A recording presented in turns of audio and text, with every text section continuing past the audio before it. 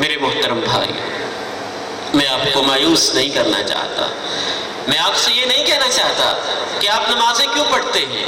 मैं तो ये कहना चाहता हूँ, नमाजों के साथ ये काम क्यों करते हैं? नमाजों को बदनाम क्यों करते हैं? नमाजियों को बदनाम क्यों करते हैं? कुछ तो हमारे हाल पे रहम करे। लोग तो हमें पहले ही गालियाँ देते हैं। इस्लाम तो पहले ही बदनाम है। हमारे बारे में तो ये बात पहले ही ऑन द रिकॉर्ड है। अमेरिका की गलीज तरीन एजेंसियों ने बकायदा ये ऑन द रिकॉर्ड उनके बयानात आज भी महफूज हैं। पाकिस्तानियों को एक अच्छे होटल का खाना और अमेरिका का एक वीज़ा दे दो तो ये अपने जमीर के सौदे करने के लिए तैयार होते हैं। ये पहले से मौजूद होते हैं। हम तो दुनिया के अंदर पहले ही बदनाम हैं।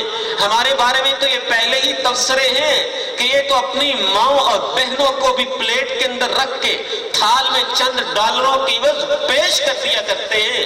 अगर मैं ऐसे लोगों को मुनाफिक ना कहूँ तो आप ही बताएँ कि क्या कहूँ।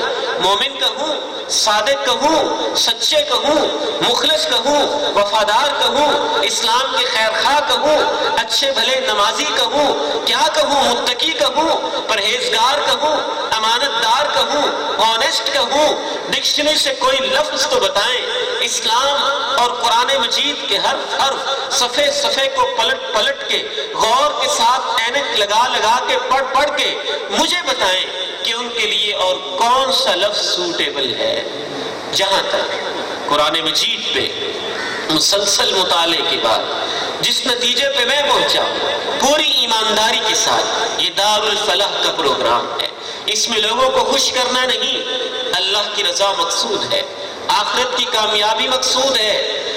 कुरान की सच्ची तालीमत तो वाज तौर पे ये कहती है, अगर ये निशानियाँ पाई जाती हैं तो उसे अपनी नमाज़ की फ़िक्र करनी चाहिए।